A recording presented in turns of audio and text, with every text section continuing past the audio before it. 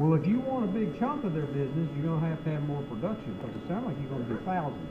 Uh, initial order, he told me the initial order, if we, I said, let's say that I send you some samples and you like them and you, you convert to me, what would, what would, what would the production requirement be? And he said, well, the initial order would be for a hundred thousand units. And then we typically, when we first started this, we ran through about thirty thousand units a month after that for about three years. But the problem is, they were so crappy they were so crappy that they would break, the pins would break, and they, you know.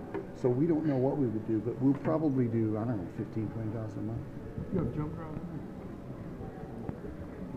Just copy everything off of that, and, and I've got two things I need to have to look at. Number one is the subway, and then a cost per, or with